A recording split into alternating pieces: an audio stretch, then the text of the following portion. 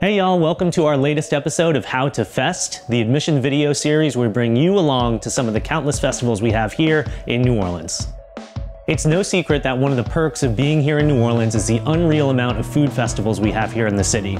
Fried Chicken Fest, Beignet Fest, Mac and Cheese Fest, Craw Fest. If you can eat it, we're probably celebrating it. For this episode, we're gonna head over to Oak Street for Po' Boy Fest, which is my personal favorite food festival here in the city. Let's get going. All right, y'all, we are here at Po' Boy Fest. This is my fiance, Sammy, who also works at Tulane. What do you do? I am a career coach in Newcomb Tulane College. That's right. But yeah, Po' Boy Fest is one of our favorite festivals in the city. We're here on Oak Street. You can see it goes all the way back. There's, I don't even know how many vendors, probably 50, 60, 70. I got my fast pass going here, so we're gonna show you some good food.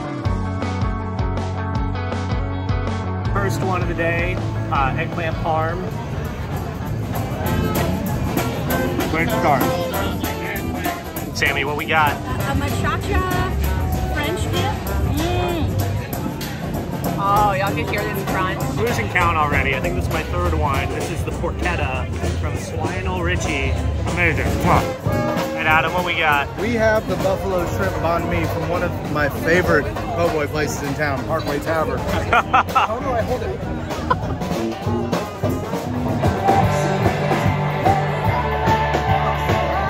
I think this is gonna be my last one. I got the chicken from Mr. Mao. It's like my eighth one, so I'm dying here.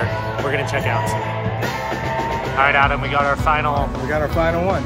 It is a s'mores po' boy. You got marshmallow fluff, graham cracker bits, you name it, it's in there. Boom.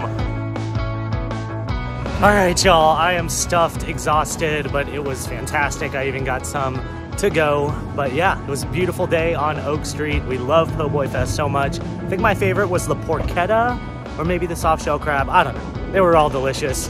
But mark your calendar for next year. It's always during the Saints bye week, I think. So just be ready. It's a great day here in New Orleans. Beautiful weather. We had a great time, and I'll see you later. Bye.